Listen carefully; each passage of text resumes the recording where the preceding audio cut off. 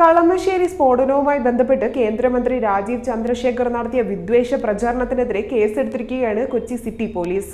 ഫേസ്ബുക്കിലൂടെ കേന്ദ്രമന്ത്രി നടത്തിയ വിദ്വേഷ പ്രചരണത്തിനെതിരെയാണ് പോലീസ് കേസെടുത്തിരിക്കുന്നത്. സ്ഫോടനത്തിന് പിന്നാലെ ഇട്ട ഫേസ്ബുക്ക് കുറിപ്പിൽ ഹമാസിനെ അടക്കം ബന്ധപ്പെട്ടതായിരുന്നു. അതോടൊപ്പം അദ്ദേഹം നടത്തിയ വിവാദ പ്രസ്താവനയ്ക്കെതിരെ രൂക്ഷ വിമർശനമാണ് ശക്തമാകുന്നത്. രാജീവ് ചന്ദ്രശേഖർ കൊടും വിഷമാണ് എന്നാണ് മുഖ്യമന്ത്രി തുറന്നടിച്ചത്. കേന്ദ്രമന്ത്രി മാപ്പ് പറയണം എന്ന ആവശ്യവും ഇപ്പോൾ ശക്തമായി ഉയരുന്നുണ്ട്. ഈ വിഷയത്തെ ആസ്പദമാക്കി രാജീവ് ചന്ദ്രശേഖറിനെതിരെ രാജ്യസഭ എം ആയ ജോൺ ബ്രിട്ടാസും രംഗത്ത് വന്നിട്ടുണ്ടായിരുന്നു. ജോൺ ബ്രിട്ടാസിന്റെ പ്രതികരണം ഇങ്ങനെയാണ്. കളമശ്ശേരി സ്ഫോടനത്തിന്റെ പശ്ചാത്തലത്തിൽ തന്റെ ഔദ്യോഗിക പരിപാടികളൊക്കെ റദ്ദാക്കി ബഹുമാനപ്പെട്ട കേന്ദ്ര സഹമന്ത്രി രാജീവ് ചന്ദ്രശേഖർ മൂന്ന് ദിവസം കേരളം സന്ദർശിക്കുകയാണ്. അദ്ദേഹത്തിന് ഹാർദമായ സ്വാഗതം. മലയാളി ആണെങ്കിലും കേരളത്തിൽ ജീവിക്കാത്തത് കൊണ്ട് നമ്മുടെ സംസ്ഥാനത്തെക്കുറിച്ച് വായിച്ചും കേട്ടറിഞ്ഞുമുള്ള ധാരണയാണ് പ്രധാനമായും അദ്ദേഹത്തിനുള്ളത്. അത്യന്തം പ്രകോപനപരവും വിഷലിപ്തവുമായ പ്രസ്താവനയാണ് ഇന്നലെ അദ്ദേഹം നടത്തിയത്. കേരളം സന്ദർശനത്തിൽ നിജസ്ഥിതി ബോധ്യമായി തന്റെ പ്രസ്താവന അദ്ദേഹം തിരുത്തുമെന്ന് പ്രതീക്ഷിക്കാം.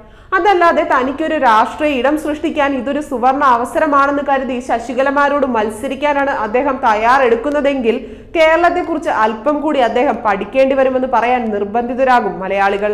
ഇങ്ങനെയായിരുന്നു അദ്ദേഹത്തിന്റെ പ്രതികരണം. അതോടൊപ്പം അദ്ദേഹം സോഷ്യൽ മീഡിയ പ്രതികരണങ്ങളെക്കുറിച്ച് അദ്ദേഹത്തിന്റെ ഫേസ്ബുക്ക് കുറിപ്പ് കൂടെ ഒന്ന് വായിക്കാം. കൊച്ചി കളമശ്ശേരിയിൽ നടന്ന സ്ഫോടനത്തെക്കാൾ ഏറെ ഞെട്ടിച്ചത് സമൂഹ മാധ്യമങ്ങളിൽ നടന്ന വിഷസ്ഫോടനങ്ങളാണ്. കേന്ദ്രമന്ത്രി രാജീവ് ചന്ദ്രശേഖർ മുതൽ ശ്രീമതി ശശികല വരെയുള്ള സംഘപരിവാർ നേതാക്കൾ അണിനിരന്നത് പല കഥകളും നെയ്തെടുത്തു.